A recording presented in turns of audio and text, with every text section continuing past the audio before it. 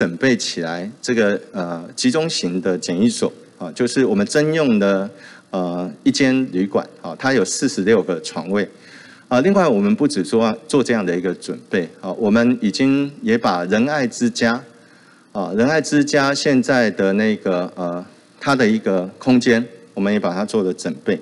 它大概有三层楼哦，每一呃第二楼、第三楼每它各有二十间房间。每一间房间可以呃容纳两个人。那另外在一楼的部分，它是一个比较大的病床的呃病房的一个通铺啊。那这部分我们已经准备起来，好以备不时之需哦。万一有这一个机构发生大规模群聚的话，我们就可以手上有这个资源，可以把它做。这个呃，这个安置啊，新冠肺炎疫情升温严峻，为了防备基隆市长照安养机构爆发大规模群聚感染，基隆市长林佑昌在议会表示，已经开始准备仁爱之家作为安置的主要场所之一。而议员们在质询时也非常关心这个问题，在这几天议会中，针对仁爱之家的主管单位社会处质询。目前的仁爱之家的空间，还有它相关器材设施的准备状况，哈，那如果爆发大型的群聚的话，是否可以它可以提供的服务的量能是怎么样，哈？那还有安置作业的规划，这个这个安置作业规划包含如果有隔离的需求，是否可以达到一人一室，哈？那照顾的协助要怎么样来分派？安置的相关交通的需求，哈，然后跟就是紧急医疗的后送等等的，哈，这个部分也请帮忙。说明一下，那嗯，另外是说，呃，目前在这个仁安之家作为机构大型群聚的备用安置场所的规划里面，我们其实非常关心的是社会处跟卫生局，我们是怎么样来分工跟合作的。这个我相信府内也还没讨论，但是我认为要及早。一种状况是什么？我们如果按照 CDC 的指引非常清楚，如果有一第一人发生，那我们就地安置，分仓分流，对不对？但是有没有另外一种模式的可能是说，如果让确诊者，不管他是轻症呃或者是无症状的确诊者，他是留在机构内，但是健康无虞的住民是可以移动到仁爱之家，类似像这样这种模式，其实也不是不行考虑。那陈维忠议员有提到说，呃，照顾能力的补充，这的确是呃。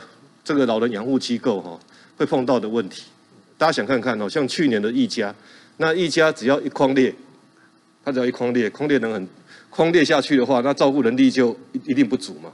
哦，所以说这个对所有机这个机构的经营业者来讲的话，都是一个很大的压力。这不是基隆市特定的业者，也不是基隆市的业者，这个是全国的养护机构都会碰到的问题。那呃怎么办呢？我们去年的经验。我们去年的经验，就也是从这个，譬如说退休的医护，譬如说外县市的、外县市的，然后曾经职业过的，他们愿不愿意过来？我们透过这样的方式来招募，我们透过这样的方式来招募。那当然，你可能要，你可能要付更高一点的、更高一点的这个酬劳了哈。那呃，其他县市他们也是类似的做法。可是我要跟大家讲哈，去年的时候，我们的业者，哦，去年的业者。他所付出的酬那个酬劳应该是全国最高的，很有诚意啊，大概是两倍到三倍的的那个日薪的。另外一个陈维忠议员提到说，隔离是不是仁爱之家可以做到一人一室？